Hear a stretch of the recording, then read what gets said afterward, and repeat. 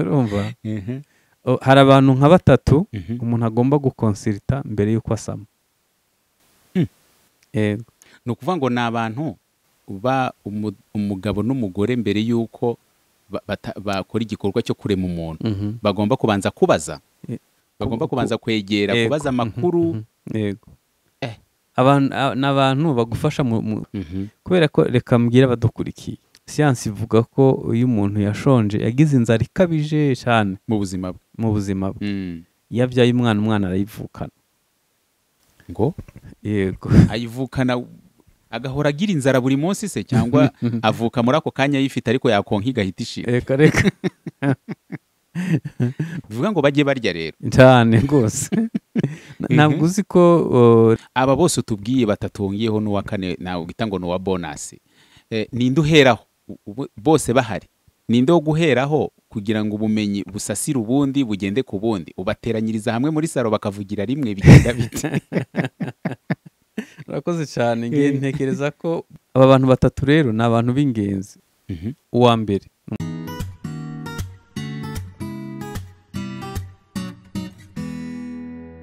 Data mu izina rya yesu turagushimiye ko duhaye ubuntu. Mm, kandi ukaduha impano y'ubuzima mm, kuba tugihumeka turabigushimiye. Mm, Um, igisobanuro ni uko yifuza ko du- dukomeza gukora imirimo myiza mm, iyo twaremewe muri kirisito yesu. Mm.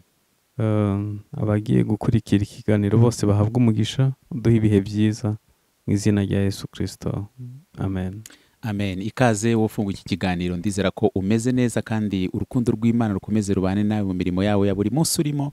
Imana ikomeze ihira imirimo y'amaboko yawe kandi ukomeze ubone imana mu byo uri gukora. Byose pasiteri ikaze rero. Urakoze. Mm, ngira ngo tubanze tubwire abantu ko twe twarabuze ariko tugarutse. Ngira ngo ni we ufite amavuta ni we wabivuga neza kundusha. Yego. Abatubuze batubabarire. Hanyuma kuri ubu turagarutse. Turagarutse Mm. abashinga na yo wababwira iki wabizeza iki ku buryo batazongera kutubura ahari bagubwe neza turabakunda Mm. eh, kandi kubana nabo ni umugisha Mhm. mu biganiro byose twakoze ni ikihe kiganiro cyangwa se iyo topiki twavuzeho ubona ko yagize impakite mu bantu yakoze umurimo ukomeye mu mitima y'abantu iyo waba wibuka ni nyinshi ariko cyane cyane ku bijyanye n'umuryango Mhm. Ibijyanye n'umutima ukomeretse Mhm. eh, ahubwo iyo na iyo nzi ko nanjye ndi buyivugeho Mhm. Mm. Eh, hanyuma urubyiruko rukunda cyane ibijyanye no kwitegura kubaka ingo. Mhm. yego. Uyu munsi tugarukanye rero na shapitire nshyashya n'ubundi kuko topiki zo ziracyari nyinshi mu kigega. Ahubwo tugorwa no gukuramo imwe iruta nyinshi ariko ziracyahari uyu munsi tugiye kuganira ku ihe pasite uyu munsi tugiye kuvuga ku burere bw'umwana. Ntabwo twavuga ngo birareba abakibyara gusa ahubwo birareba n'abitegura gushaka n'abafite ubu- abuzukuru nabo birabareba. Bose bi- birabareba. Mm, ni ukuvuga ngo si abubatse gusa ahubwo n'abitegura kubaka birabareba. Mhm. reka duhere ahangaha pasite umwana yitwa umwana ryari? Abarwa. Abarwa ko yabaye umuntu ryari? Eh, siyanse ivuga ko umwana yitwa umwana Mm. ari uko papa na mama bahuye hanyuma umudamu agasama. Yego.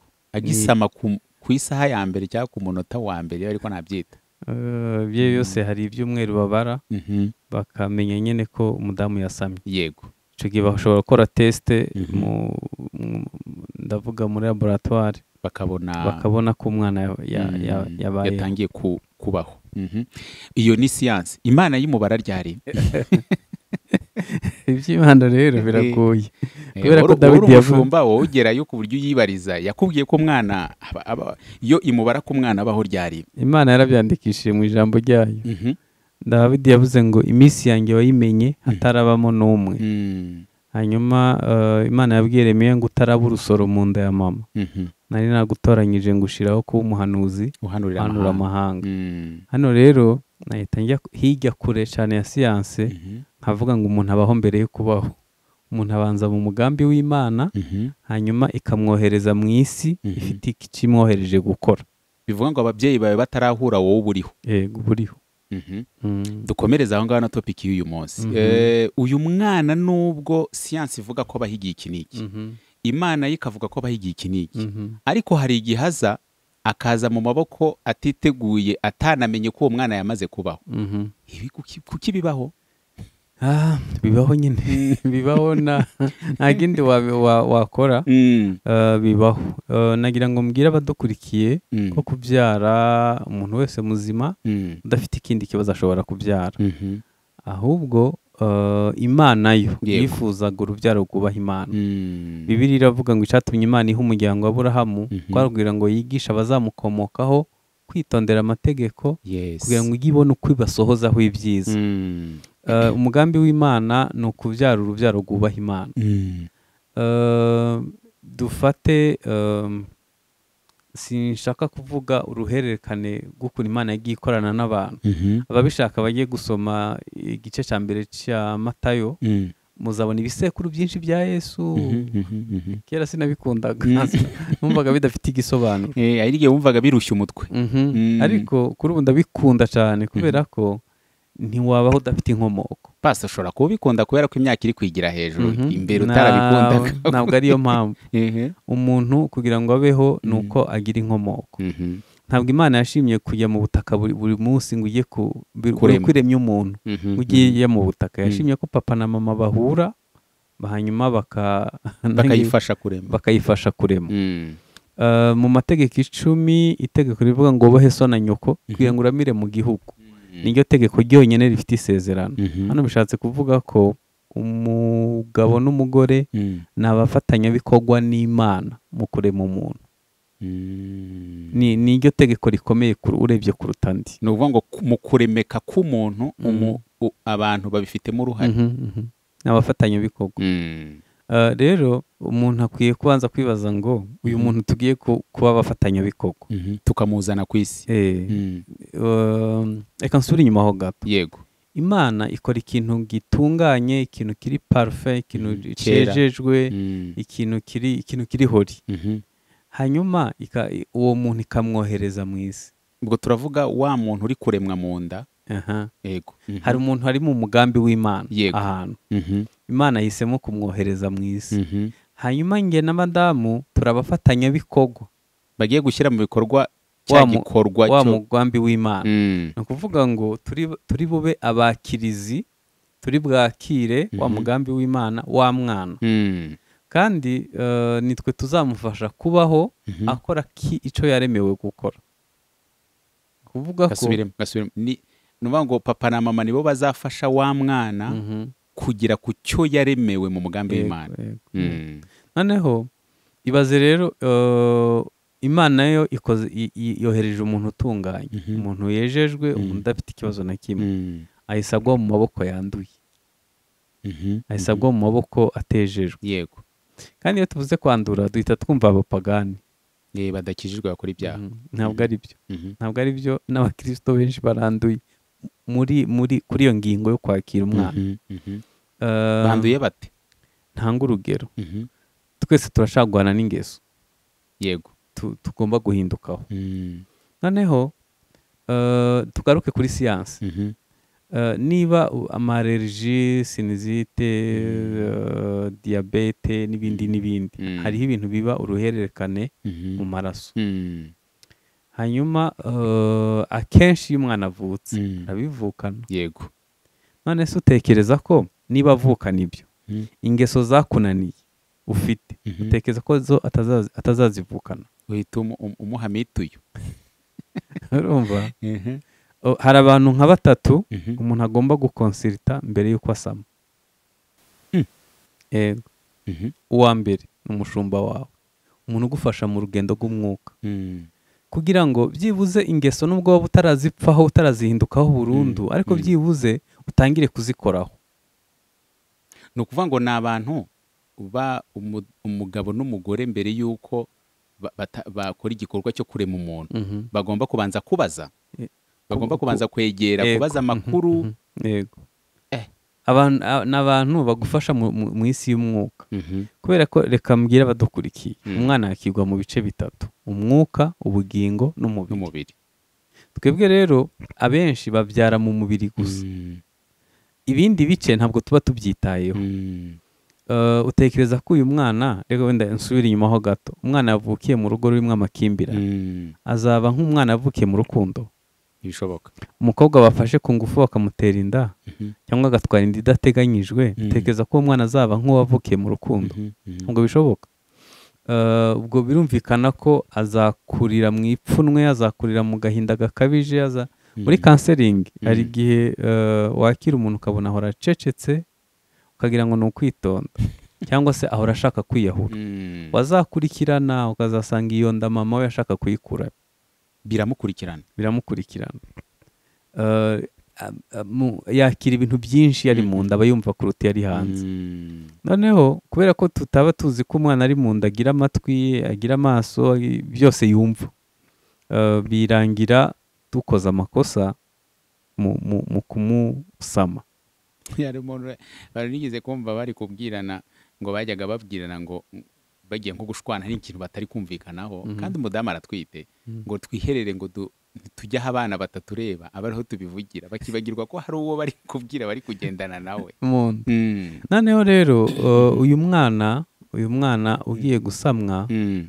eh, twariho turavuga ku ngeso yes ukwiye byibuze kuba uzikoraho Mm. uzizi ko ufite ingeso mbi Mhm. yenda urugero uvuga nabi ufite umujinya wakunaniye Eh, cyangwa ufite ikindi kintu kibi kibi urasambana Mm. eh, urikunda Mm. uri umuntu w'umunyabwibone bukabije Mhm. Mhm. ukwiye kuba urimo gukora kuri izo ngeso kubera ko niyo ubwira imana ngo mana umuhindure umwana ari mu nda nawe arabyumva Mm. kuko niba yumva eh, ibindi bibi ntabwo n'ibyo byiza reka kubyumva yes Mhm. cyane rwose uwo ni uwa mbere uwa Mm. kabiri ni ni umunitirisiyoniste.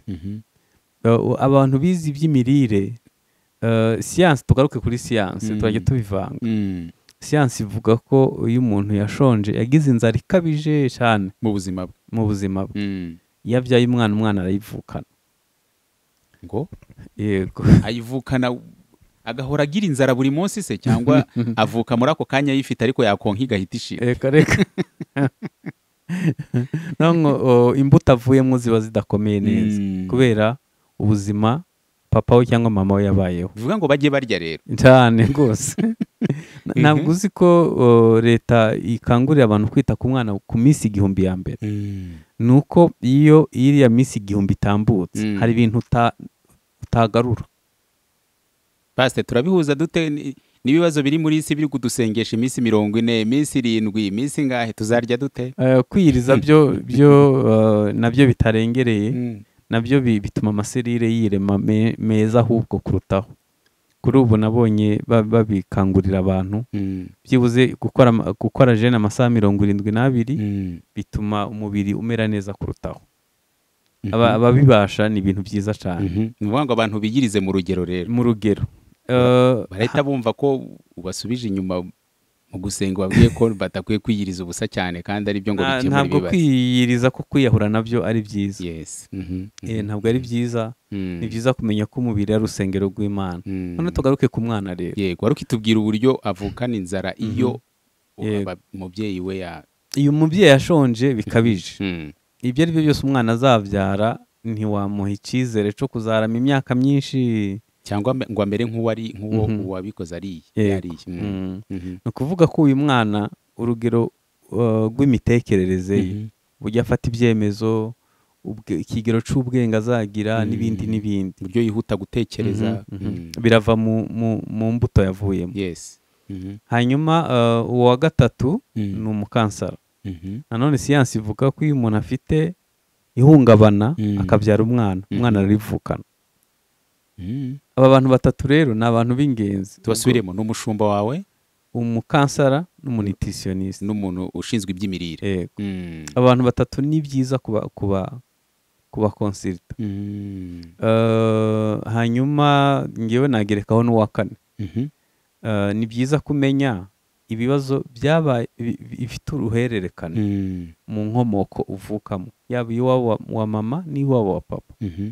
Kubera ko hari ibintu iyo ubona bi- bi- bibaho bikaba bikaba karande Mhm. i- Ikurikirana. ikurikirana Mm. ugasanga abantu bose bakunda amafaranga pasite ninde wanga amafaranga amafaranga ntawe uyanga ariko yamurebe ko nyanga bajyaga bavugira ku ba- ku bantu ku bwoko bumwe bw'abanyakenya yego ngo iyo ushaka guhakikisha ko yapfuye neza Mm. ujugunya ibiceri hasi kwizera neza ko atakirimo umwuka Eh, w'abazima iyo ubonye atazanzamutse Mm. uhita umenya ko yarangiye hanyuma bibiri iravuga ngo kuyakunda ni umuzi w'ibibi byose Mm. Eh, ni byiza kuyakorera ni byiza kuyashaka Mhm. ariko udahemutse Mhm. Eh, utabanje kwica utabanje kugambana Mm. ni byiza uzayabona utararengaho Mm. aba bantu batatu utubwiye umushumba ushinzwe iby'imirire ndetse n'ushinzwe iby'imitekerereze umukansara Mm. Eh, kubakonsirita cyangwa kubashaka. Eh, ni ukubashaka umukobwa n'umusore bataraba ku rugo cyangwa se ni abubatse urugo batarakora cya gikorwa cyo munsi y'inzitiramibu babashaka ryari Eh, nibaza ko umuntu yabashaka mbere y'uko ashaka hanyuma abadukurikiye bashatse Mhm. ntirirarenga Nibagerageze babashake. Babashaka ubu? Mhm. ishobora kuzura ibya abantu bose bakibyara. Mm. bose badukurikiye. Bakwiye kubikora. Kubera ko ingaruka zizaba ku Mhm. mwana Eh, agenda avuga iki? Ibihugu biteye imbere Mm. eh, umuntu aba afite umusosiyare we Mhm. umukansara we muganga umu- umuganga we Mhm. umunyamategeko we. Kandi abumvuze buri mezi atatu cyangwa atandatu baraguhamagara. Niyo waba nta kibazo ufite nta kibazo na kimwe ufite Mm. bakakubaza ngo ngwino muri check up twe dufite bangahe pasite wenda wowe urabafite singe wahera Noneho. Eh, reka ntange nk'urugero Mhm. abanyafurika bajya kwivuza kanseri Mhm. bag- bagenda igeze ku rwego rwa kane ntacyo bakibamarira Mm. ariko igaruriro. ku rwego rwa mbere n'urwa kabiri n'urwa gatatu akenshi barayivura igakira Mm. ariko kubera ko ugenda ntacyo bari bukumarire Mhm, eh, mhm. ugenda nyine ugeze ku rwego rwa gatatu n'urwa kane niyo mpamvu bahitamo kubakonsulita mbere kugira ngo Mhm. barebe niba ikiri ku rwego rwa mbere babigarurire hafi. Mm. Eh, twebwe wumva kuko twi- twigeze dukora check up Mhm. tujyayo nyine turembye turi hafi gupfa Eh, Mhm. kandi ibyo mvuze ni byo biba no ku marangamutima agahinda gakabije eh, ni nk'ukorohama ugenda gake gake. Mhm. ukagera igihe ugenda ugeze ku rwego rwo gufata imiti. Kandi iyo ugira uwo ukuganiriza mbere nta kibazo wari kugira. Eh, ni- ni- ni- n'ibindi bibazo byose ni nka bene ibyo. Ni byiza ko umuntu aba azi eh, uko agomba kubifata aba bose utubwiye batatu wongeyeho n'uwa kane nawe uhita ngo ni uwa bonasi ninde uheraho bose bahari? Ninde wo guheraho kugira ngo ubumenyi busasire ubundi bugende ku bundi? Ubateranyiriza hamwe muri salo bakavugira rimwe bigenda bite? Urakoze cyane. Nge ntekereza ko bose ni ab'ingenzi. Mhm. kuri nge nta n'umwe utari uw'ingenzi. Mm. ariko kubera ko eh, twubaha iby'umwuka cyane Mhm. wahera ku, gukora ku ngeso zawe ku mushumba. Eh, kubera ko ingeso n'ubundi nizo zizagusenyera Mhm. eh, rimwe na rimwe uzajya uvuga ngo mufate uko niko nteye. Mm. yego nibaza ko ari wowe waheraho pasite ko hari ibintu bidahinduka uwo mwanya? Reka tuvuge nk'umushumba wenda wawe ugiye kureba ku bijyanye n'amarangamutima ku gice cy'umwuka. Guhinduka ku ngeso ni urugendo pasite ngira ngo ibyo bintu twabivuzeho mu biganiro byacu byashize. None mu gihe ubona utarahinduka ku ngeso mu buryo bukwiriye uba uretse kubaka. Oya na sinavuze ngo Mm. eh, ndabizi ko bintu bibiri. Mm. Bikira bitinze Mm. ni ingeso n'ibikomere yego byose ni urugendo Mm. yego mu mbaraga z'imana nyinshi ushobora kugukiza ijoro rimwe ndabyemera Ye, birashoboka ariko nanone nk'uko bishobora kuba n'imyaka kandi ukabyakira yego Mm. ntekereza ko eh, sinavuze ko usama ari uko zakiza Mhm. ariko byibuze tangira ubikoreho Mm. Mhm. U- mbese ntube ntube ntube eh, ukiri proud Mhm. Uki- y'ingeso mbi. Ukinejejwe na byo uba uri umuntu uri kubikoraho. Ubabajwe na byo Mhm, mhm. Uba uri umuntu ubabajwe no kuvuga nabi. Mhm, uba ubabajwe n'uko urakara vuba. Uba ubabajwe n'utwo tuntu. Bizagufasha ku- ku- kuba umuntu mwiza kurutaho ngo wa wundi utwite nta kibazo azagira cyane kubera ko uri kubikoraho. Igihe bi- bi- bishatse nko kuza utwite uzamenya ukuntu ubijera Mhm. bitarangiza umwana ari umwana w'imbere. Aha ubwo kubikoraho ni ho nkiri. Ikibazo nzi ko abantu benshi bari kukibaza bari kubwira ati oke turabamenye mushumba ndamubonye pasiteri desire ni we mushumba wanjye hanyuma uw'imirire ni uyu n'uyu n'uyu. Niba ushobora kuba wasama uwo mwana ukiri mu rugendo rwo guhinduka. Hashobora kubwira ati mubonye iri joro rero hanyuma ejo ntemerewe gusama undi akubwira ati ngomba byibura amezi atandatu haribe hari igihindutse. Cyangwa se umuntu abanze yiyumva uko araba ari gufata icyemezo. Kameme hari hari hari ikiringo nyine hari aho guhera wavuga ati ahangaha nuhagera. Byibuze biraba bigifite icyo byatanga. Ariko utaragera aha buretse Oya, nta n'umwe ndi bubwire ngo nabaretse kubera ko twese twavutse nabi niko navuga. Niyo mpamvu ubona ingaruka nyinshi zihari. Eh, byibuze banza umenye ko biri ngombwa ubikeneye Yego.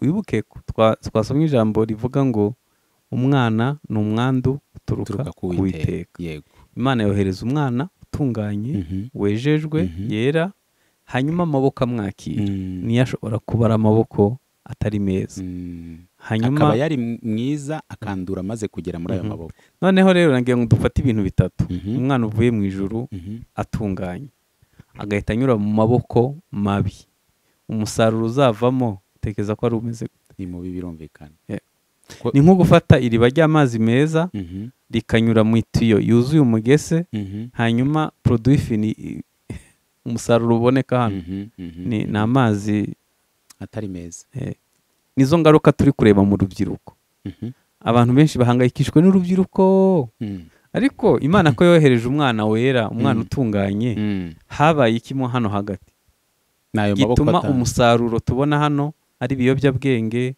ari gukuramo inda ari uburara ari ubusinzi Mm. hano hano habaye iki?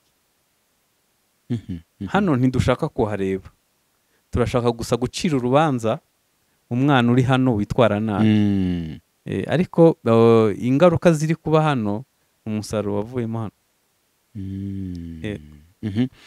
Reka mvugire uyu mwana pasite Mhm. ara yoherejwe yera ari holi kandi nta ruhare abigizemo. Avukiye mu maboko yanduye. Iyi mana urumva itarenganya.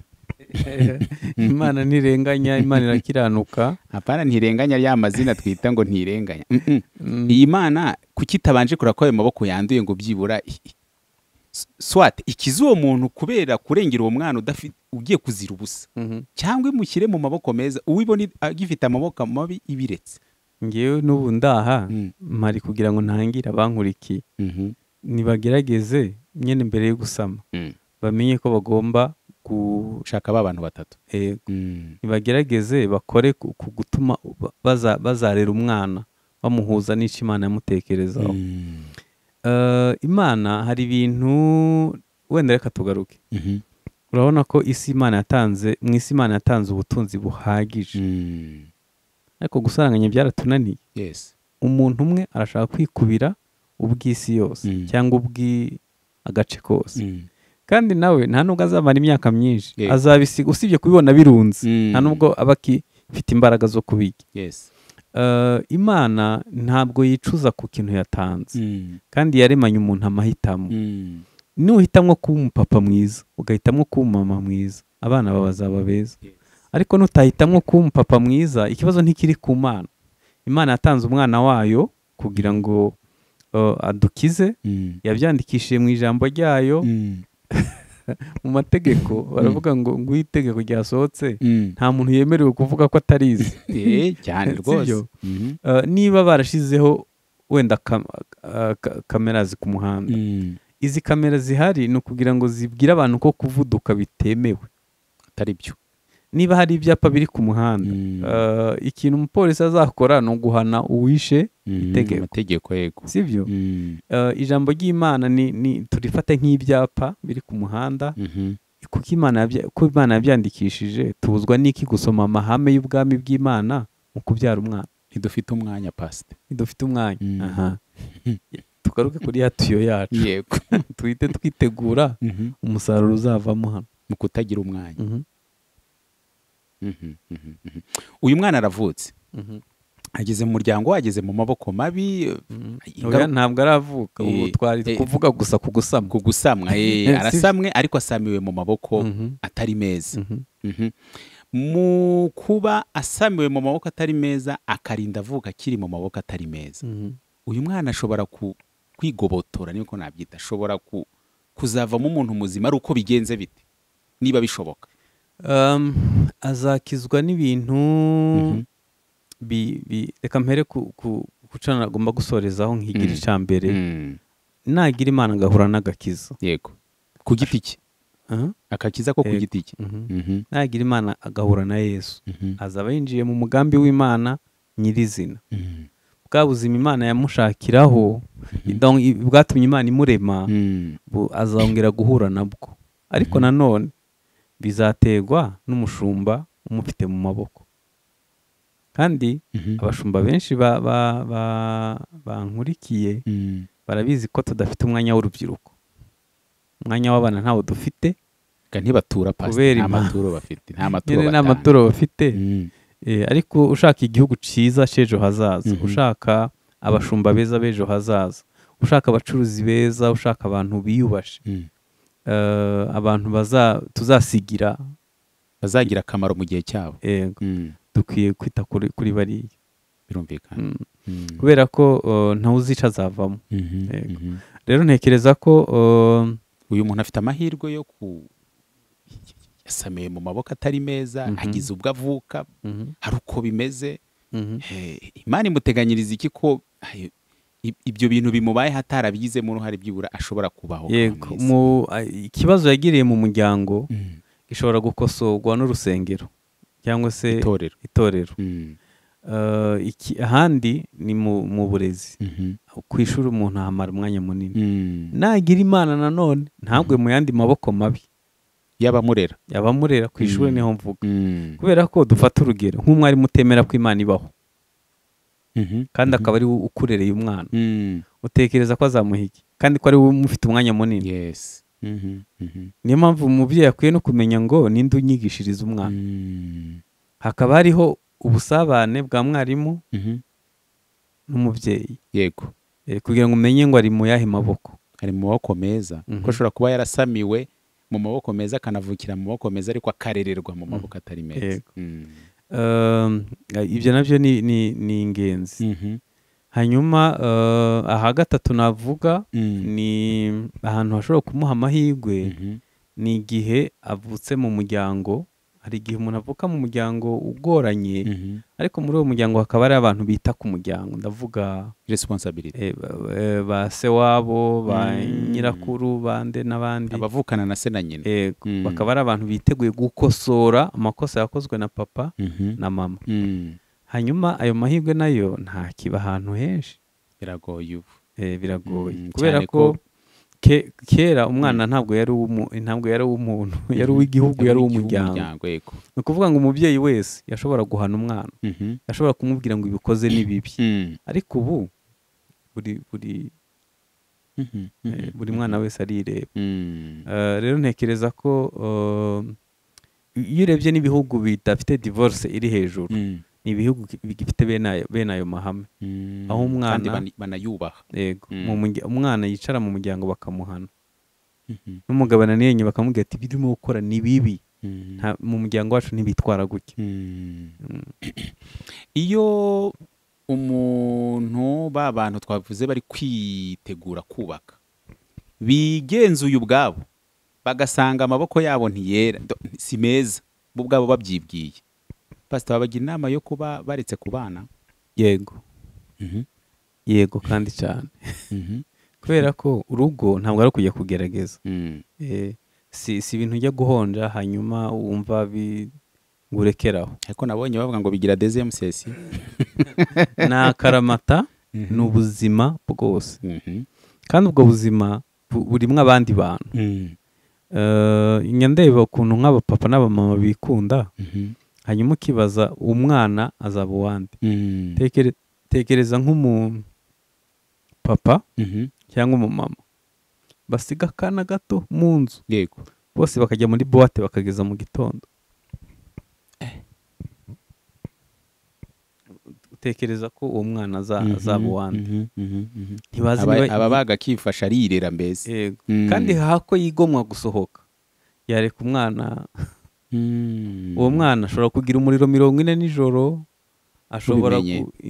hashobora kuba inkongi y'umuriro nijoro ishobora Mm. guhura n'ibibazo byinshi. Mm. ibihugu bimwe na bimwe bikomeye ku isi byo umwana nubwo yaba afite imyaka icumi ukamusiga mu nzu.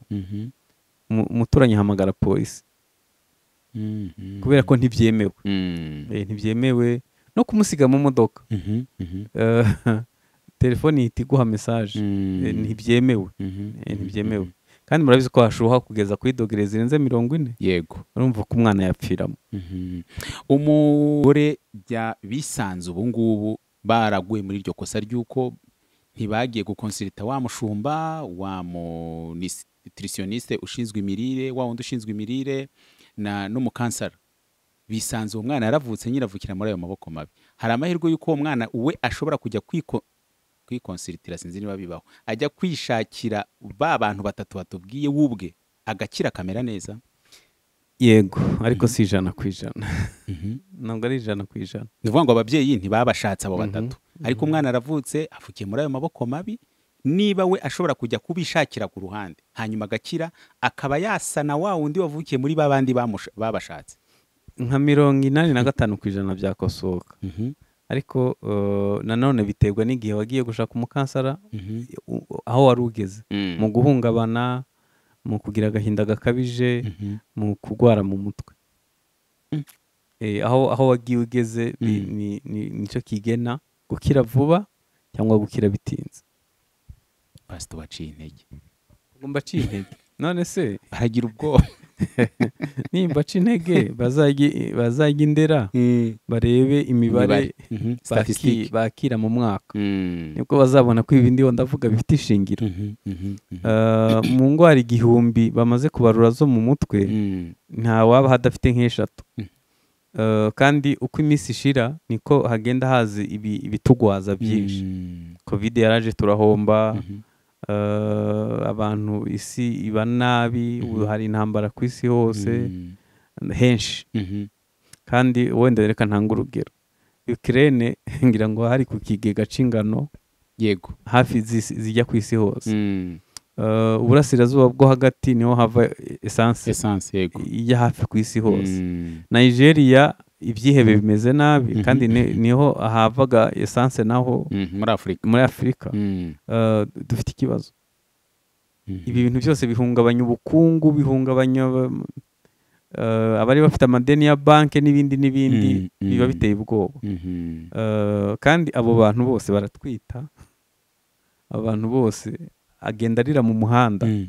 banki ije kumutereza afite umwana mu nda. Yes yes. Eh, yamenye ko umugabo amuca inyuma afite yamenye ko umugabo amuca inyuma Mm, mm, afite umwana mu nda mm. cyangwa se areze arimo konsa Mhm. umwana amutaha amarira ibyo bintu byose bifite ingaruka ziteye ubwoba Mm. Yego. Mhm. Eh, dusoza uyu mubyeyi n'uyu mugabo ndavuga umugore n'umugabo bashobora bo ubwabo basho- hari ubushobozi cyangwa se bibaho bashobora ku- kumenya ko umwana bari kumujyana mu mugambi w'imana cyangwa batari kumujyanamo bo ubwabo kuko umwana aracyari muto. Biterwa n'ubusabane basanzwe bagirana n'imana.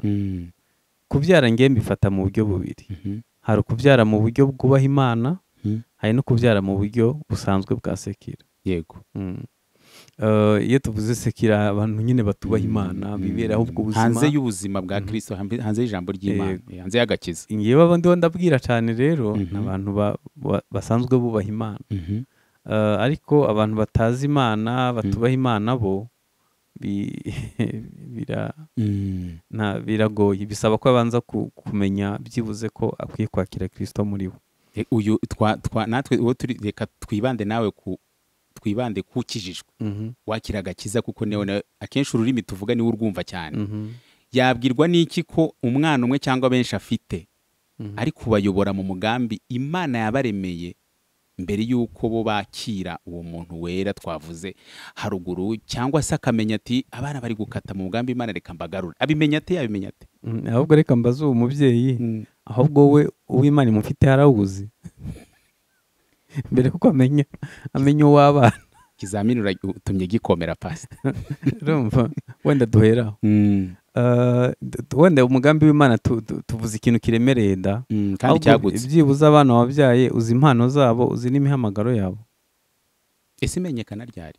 Impano n'imihamagaro y'abana. Bafite hagati y'imyaka ibiri n'imyaka itanu. Uw'amezi umunani n'umwaka ubwo uba uretse kwirirwa ushakisha ntiwabibona Eh, wabimenya bitewe Mhm. n'icyo imana yakuganirije kuri uwo mwana Mm. Eh, ariko icyo gihe mvuze Mhm. eh, hagati y'imyaka ibiri itatu n'imyaka itanu itandatu Mm. karagiteri iba itangiye kwiforoma ni igihe navuga ko ni igihe uba utangiye kubona umwana icyo azaba Mhm. kwa kuntu akina atoba utwondo kwa kuntu. Hari ukuntu uvuga ati uyu mwana ashobora kuba umwubatsi cyangwa ashobora kuba umuganga cyangwa bitewe ni yego. Mm. Mhm. ubwo niba numvise neza rero mu- mu- umu- umuryango cyangwa se umugore n'umugabo bakwiye kugirana ubusabane bwimbitse n'imana kugira ngo bamenye n'amakuru yabo bazabyara. Yego. Cyane rwose. Urumva ko isomo njye narangije kuri none reka nguhe nk'urugero. Mhm. ntabwo uzi ko yakobo Mhm. yahamagaye abana cumi na babiri? Mhm. bose akababwira ibizababaho. Yego. None se twe tubyara ngo bigende bite? Hanyuma ngaruke Mhm. kuri mose. Mhm. ntabwo uzi ko bubatse ihema Mhm. bakurikije igishushanyo mose yabonye mu ijoro yego. None se twe twubaka tubyara gute? Twubaka gute? Iyo rero umwana umuriro ukurikije iki?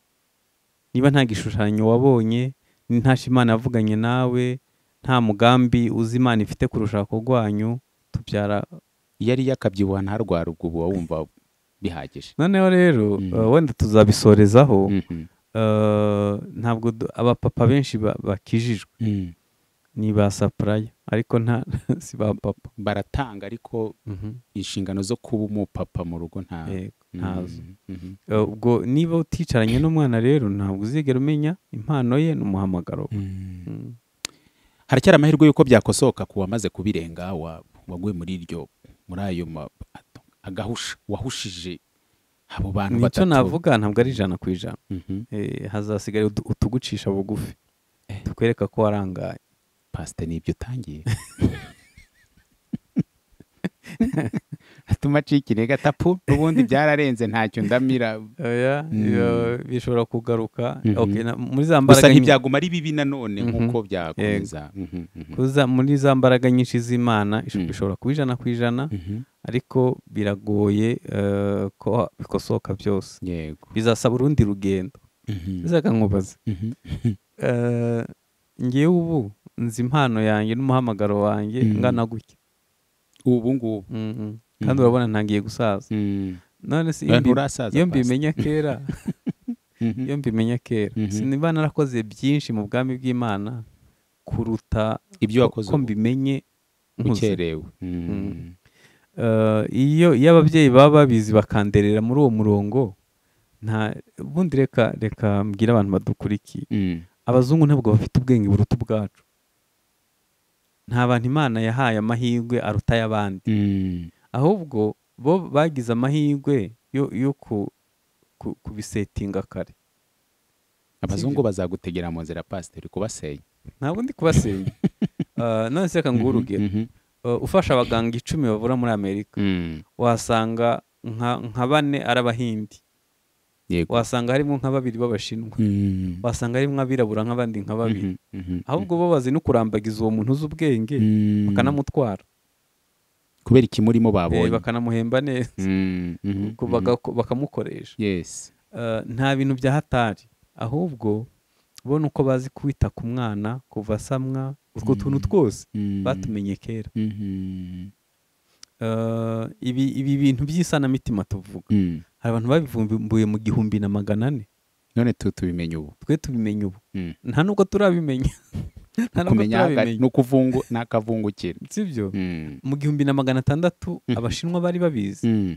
abantu bo, mu- bo muri muri israel bari babizi Mm. ba- bazi ayo maprincipe yes. Mu gihumbi na magana atandatu. Mm. none twe tugeze bibiri na makumyabiri na kane tutarabimenya tutazi ko umuntu agizwe n'ibice bitatu. Hanyuma tukagabura ibijumba n'umuceri ndi kuzura Mm. amarangamutima akomeretse. Papa akajya gushaka amafaranga. Umwana akamuha amafaranga yose asabye atabanje no gutekereza ngo azakora iki. Mm. telefone yose isohotse akayimugurira uh, akaba afite umushoferi hanyuma akajya asimbuka igipangu agiye mu kabyiniriro. Mm, mm, hanyuma eh, umwana arizwe n'abakozi batanu utegereza ko azagira ubuhe burere. fata abakozi batanu eh, nabo bakomeretse wenda ari mu- muri ako kazi atishimye. Kubera ko yaciye wenda yavuriye mu ishuri mu wa gatatu segonderi iyo abonye abana bagiye ku ishuri ariherera akarira. Utekereza ko abana azabahiki ni amarira yaje afite inzara y'ikirarane ku buryo n'amata y'umwana arayanywa. Kandi ntufite umwanya wo kubimenya. Mhm. wa- wagiye gushaka amafaranga uri mu Mm. gushaka ubuzima. Utekereza ko azamuhiga?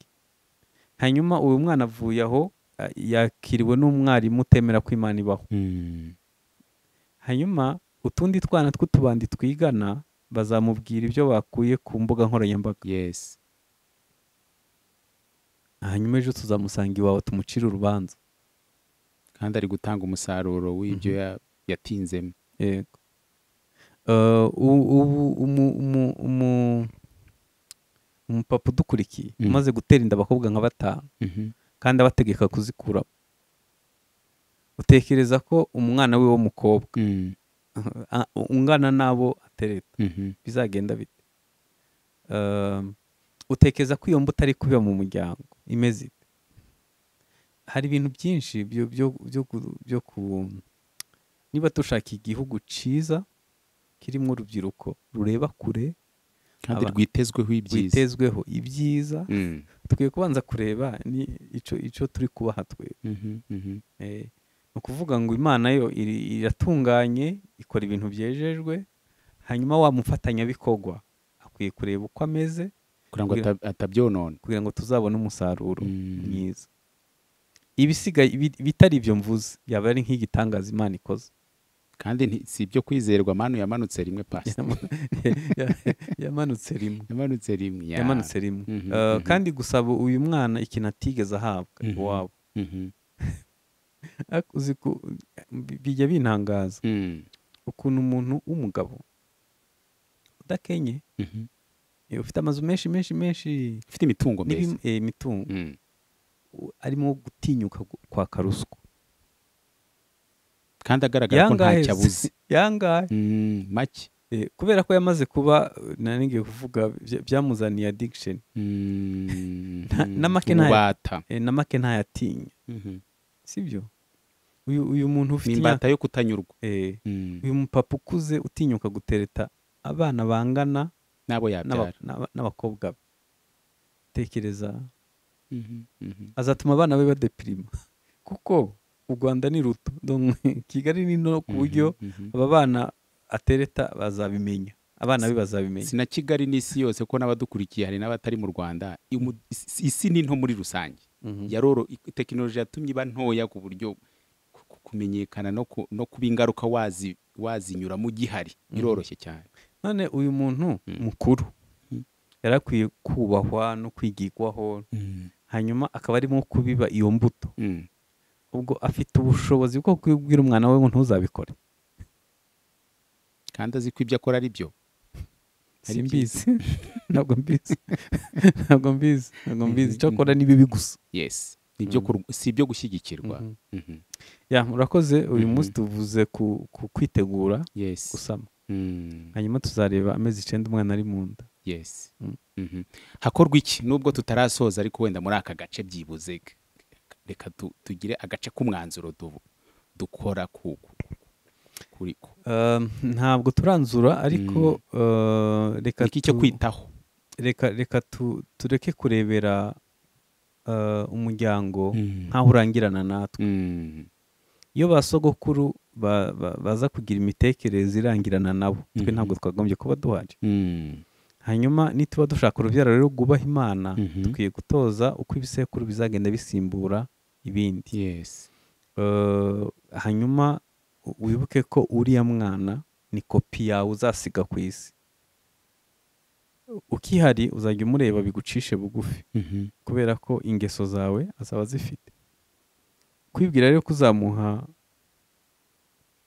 uzamuha eh, reka mvuge ngo ibyiza. Mm. kandi ntabyo ufite kandi ntabyo nta bikurimo Mm. eh, ubwo ni ukwibeshya. Yego.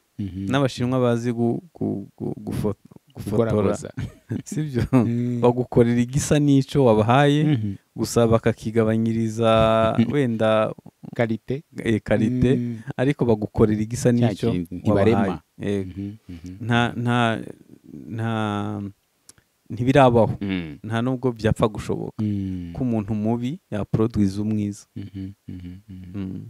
Umwembe ntiwera avoka ntibibaho ntibibaho Mm.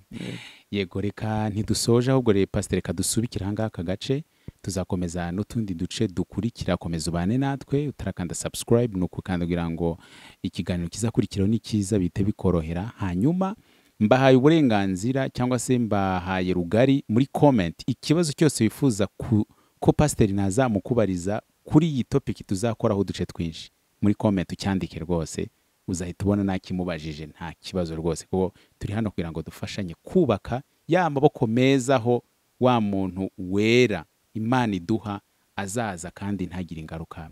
Zibaho pasiteri reka dusoze n'ubundi reka dusubike n'ubundi dusenga kuko ibyo tuba tuvuze tuba tuvuze nk'abantu.